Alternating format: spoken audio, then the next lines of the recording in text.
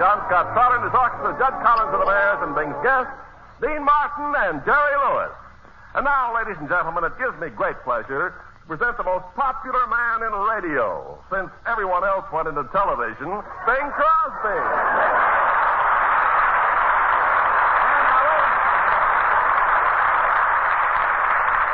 Don't, mislead yourself, Ken, of these charming people here. There are plenty of people left in radio. Well, anyway, Bing, you don't seem to be worried about it. Gee, you look wonderful. I feel wonderful. I just come back from Lake Arrowhead. Up there on location, making a picture and fishing. Oh. Well, if you've got a lot of fish, bring them over to my house for dinner Oh, no, I'm busy tonight, Ken. I can't do it. I've got to play a benefit for a bookmaker. You know, Bing, while you were away, Joan Crawford released her list of the ten men in Hollywood who have the most sex appeal. Mm-hmm. Well, there's me and Hope. Uh, brace yourself. Uh, you and Bob didn't make it. You see, Bing, in order to get on the list of great lovers, you must have a terrific inner emotion. Can you look into a girl's eyes and start a roaring fire? Well, if I do, who's going to put it out? Let me tell you something, Ken. If Joan Crawford or anyone else is making up a list of men who appeal to ladies of the land, she should never forget to include the name of Snodgrass Rutchford. Snodgrass Yes, Rutherford? yes, Snodgrass Rutchford. Who's he? Why, Ken Snodgrass Rutchford is known far and wide as the gentleman who poses for the pictures in the long underwear section of the Sears Roebuck catalog. I know Snoddy real And well. He's a gallant man, a gay boy. boy. Now, Ken, I think we better get here rolling here with a little music. I note the opening selection is Mr. Christopher Colombo from Here Comes the Groom. John Scott, get it rolling, will you?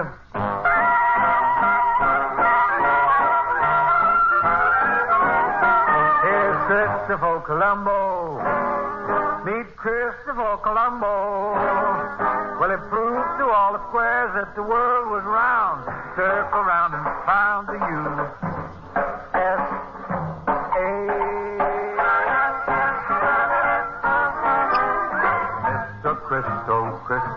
Colombo went for a boat ride one fine day. On his day off, travel such a way off, he found the USA. Oh, Mr. Christo, Christopher Colombo thought the world was round. Oh, presto, westo, sailed the man Colombo. He found the USA. Roughed it, first, he thought he must it, cause all he found was ground unplowed. So he hoed some, later on there growed some buildings tall and proud. Oh, Mr.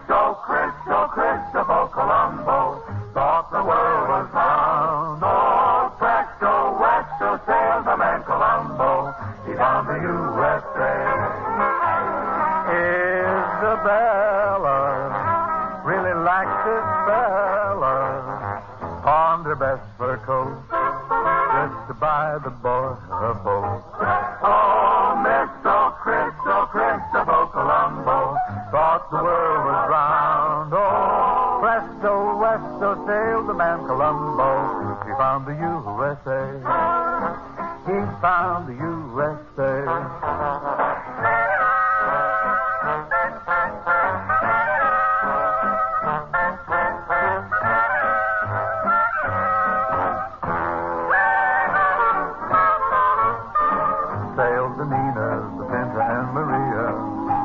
Figured to stop and load some freight. But where ground was, all he really found was real nifty real estate. Oh, Mr. Christo, Christopher Colombo thought the world was round. Oh, presto, westo, sailed the man Colombo. He found the USA. When he docked here, almost no one flocked here. Now it's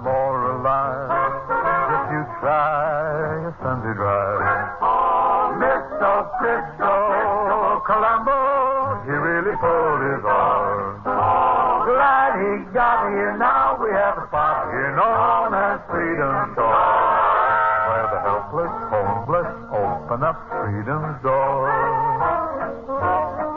Where the helpless, homeless open up freedom's door.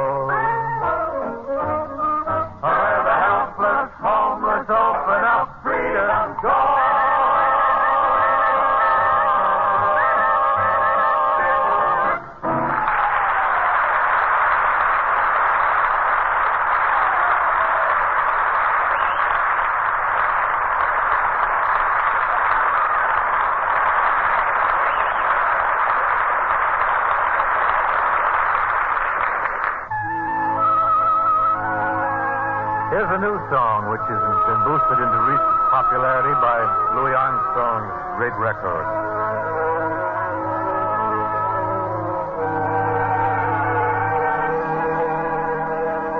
Give me a kiss to build a dream on, and my imagination will thrive upon that kiss.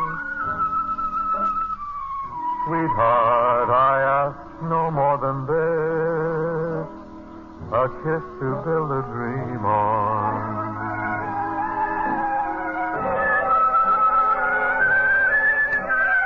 Give me a kiss before you leave me,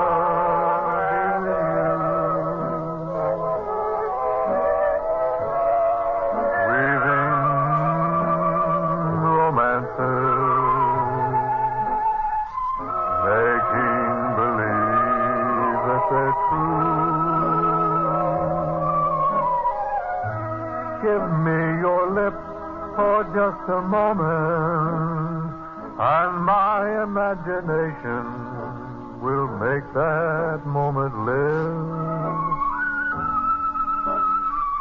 Give me what you alone can give, a kiss to build a dream on.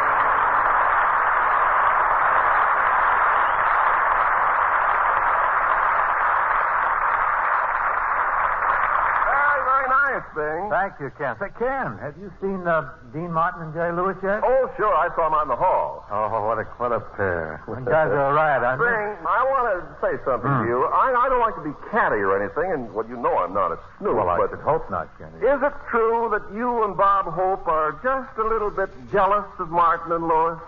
Oh, Ken, of course not. Why, Hope and Martin and Lewis and myself are buddies.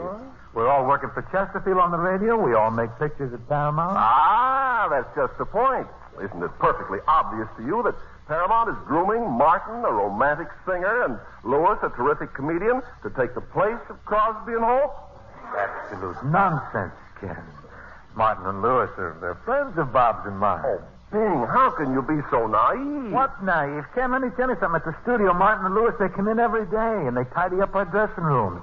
They run and get us cokes. They light our Chesterfield. They do? Sure. Of course, they use blowtorches. you know what characters they are. They can't do anything straighter on the level. Really, honestly, this is the Yeah. darndest thing I've ever heard of. Don't worry about our buddies, Dean and Jerry. Those are just ugly rumors. They're crazy about Bob and me. Oh, no. Why, Ken, at the last studio party, they danced with us. They did? Yeah. Not just any old dance. They asked for the first dance. Oh. How can you be so blind? It's common gossip. Everybody's talking about it. Why, it's even been in the papers. When? When was it in the paper? Why, Harrison Carroll had a big story about it in the Herald Express last night. Harrison Carroll? a big Yes. Let's see. Where? Well, I got it right here. Look, I'll read it to you. Here, get this. What singer and what comedian at what studio are breathing down the necks of what singer and what comedian at what studio?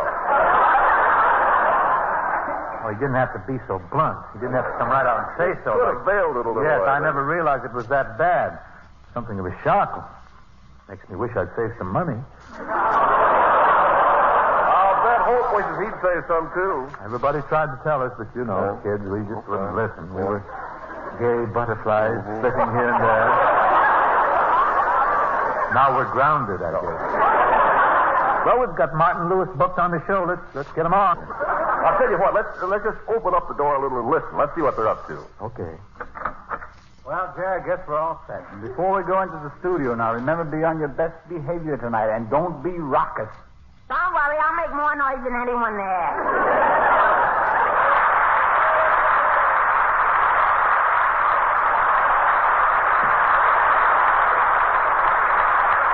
No, Jerry, you should be very careful tonight. Just think, Jerry, tonight we're visiting the most loved man in America. Oh boy, I always wanted to meet Artie Shaw.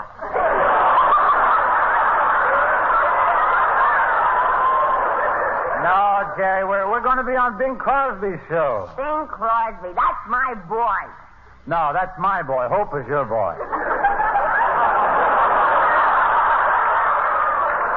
Oh yeah, that's right. I keep, I keep forgetting. Gee, Dean, we're really going places. Did you see that wonderful write-up we got in Harrison Carroll's column last night? No, what did it say? Well, get a load of this. Well, what is it? Hey, tell me what it says. It says, what singer and what comedian are breathing? Dean, that's us! Oh!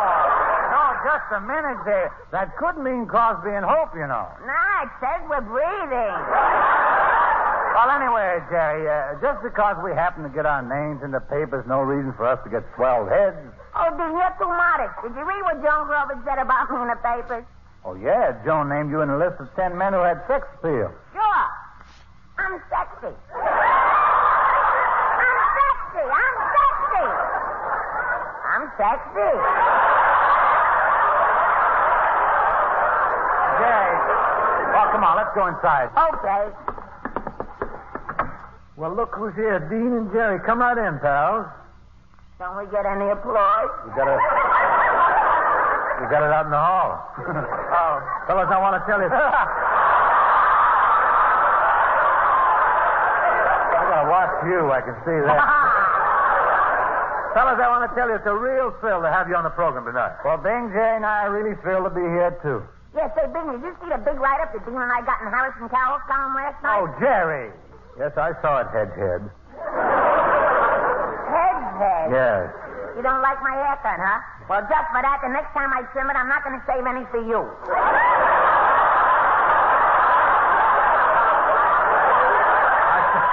I didn't mean to offend you, Jerry. Well, he's a little sensitive about his looks, Bing. Yeah. The poor kid happened to be born with a face that only a mother could love. He didn't like it either.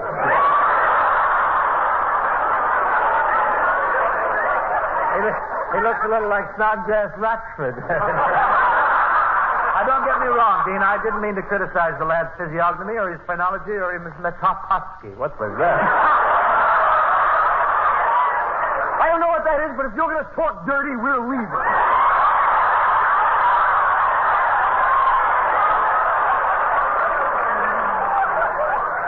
Say, fellas, there's a rumor going around that Martin and Lewis are soon to replace Hope and myself. I think we should put an end to this silly rumor. Well, of course. It's ridiculous. Want to come in, kid? I'd say it's downright ridiculous. I was so carried away by your performance.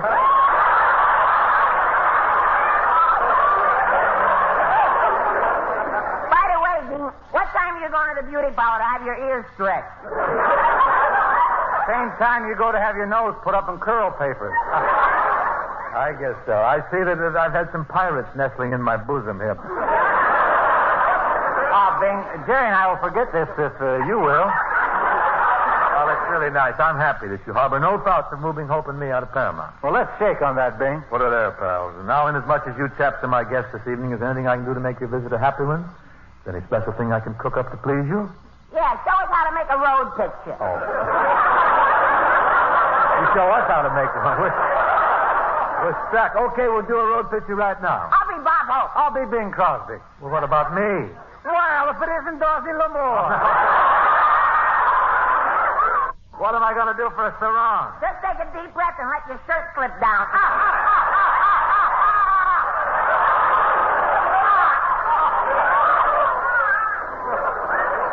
Hey, I get an idea. Let's just be ourselves in this road picture. Oh, what do you mean? Well, I'll be Bing Crosby, you'll be Dean Martin, and Jerry will be a beautiful native girl. That's being myself.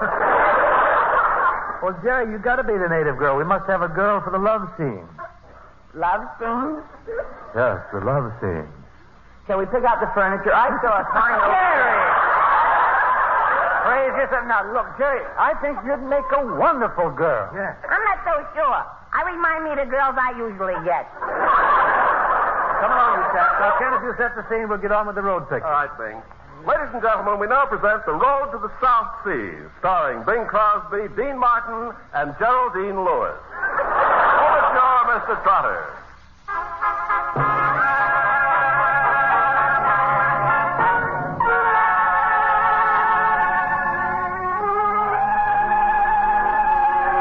We now take you to the South Pacific, to the lush tropical island of Okadoka. As our scene opens, we find Bing Crosby and Dean Martin at work in the dairy farm on the island.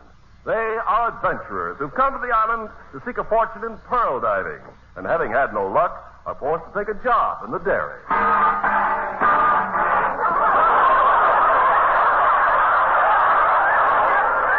That's just fine work for a pearl diver. Ah, quit beefing, Bing. Hard milking coconut. well, I'm tired of this island. And I'm tired of this terrible heat. And I'm tired of these dirty old clothes. Oh, what's eating you? I don't know, but I'm tired of them, too. You know, Dean, we could really strike it rich if we could get Leilani, the native girl, to tell us the location of the White Pearl of Maluna. Fabulous, you know, it's worth millions. Well, let's work on her. Say, here comes Leilani now. Yeah, let's really, let's really con her, huh? Hello, Leilani. Me sweet Leilani. Me lovely. Me engaged. Me use crankcase oil. Ah, lovely Leilani, what beautiful hibiscus you have in your hair. Me make them myself with hibiscus.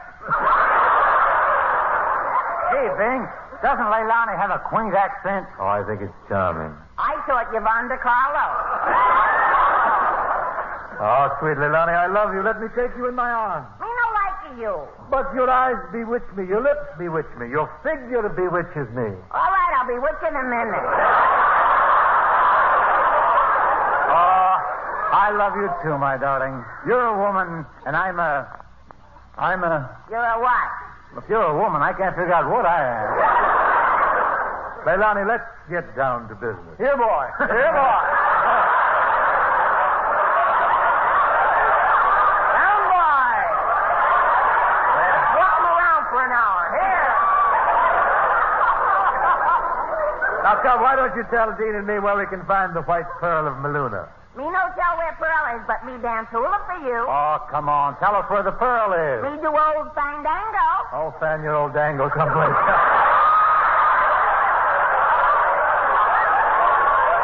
Now, listen, Leilani, are you going to tell us where we can find the white pearl or not? Okay, me tell you where Pearl is, but first you must sing me love song. we sure will, kid. Come on, Dean. Now, listen to this, Leilani. Sweet Leilani, you look so funny. With orchids blooming in your ears. Gardenias blooming round your ankles. You bloom all over, dear. I'm a bloomin' idiot. Never mind, sweet Leilani. Come. Come dance for us.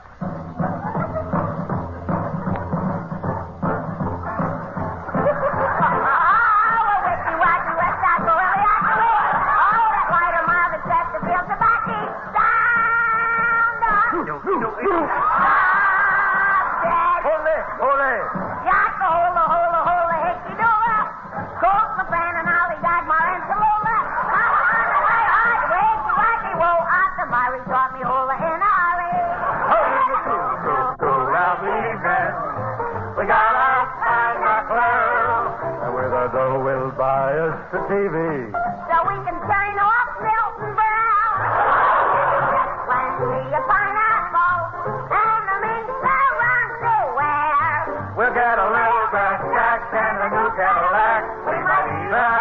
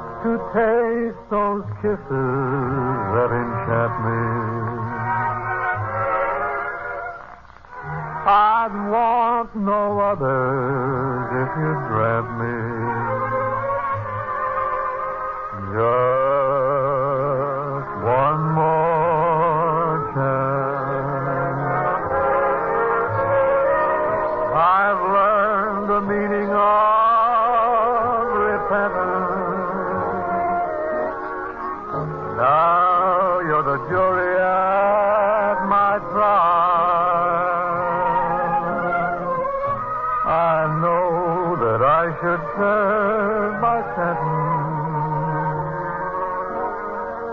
Still I'm hoping all the while that you'll give me just one more word. I said that I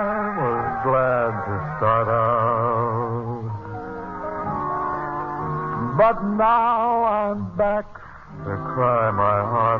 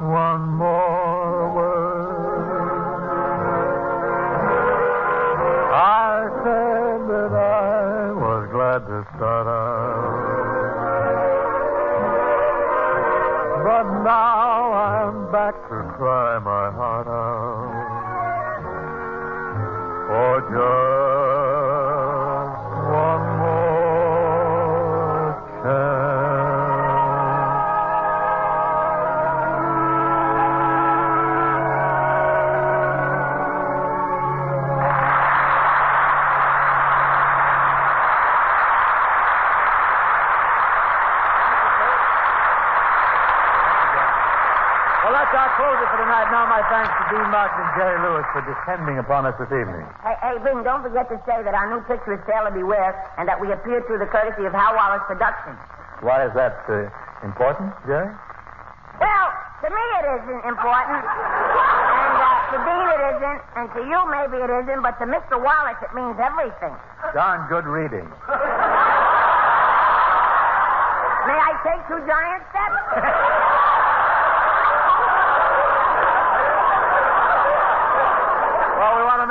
happy by all means. Ladies and gentlemen, what singer and what comedian from what studio appeared tonight through the courtesy of what producer? There you are. Thanks a million, Bing. me too. Thank you. Good night. See you lads around the celluloid factory? Hey? Yes.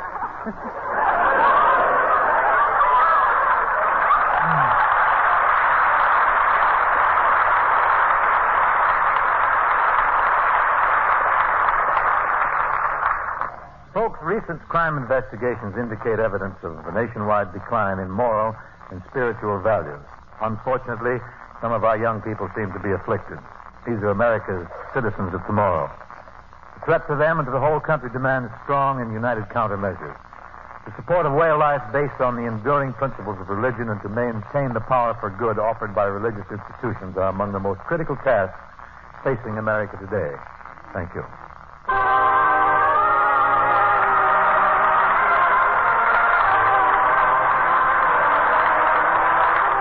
Crosby Show was produced and transcribed in Hollywood by Bill Morrow and Murdo MacKenzie. Tune in next week and they're Bing and his guests, Jimmy Stewart and Anna Maria Alberghetti.